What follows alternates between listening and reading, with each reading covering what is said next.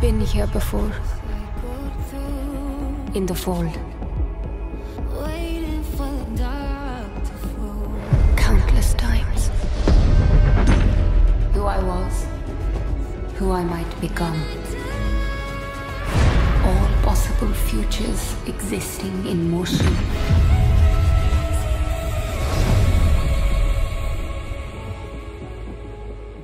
It is time to awaken.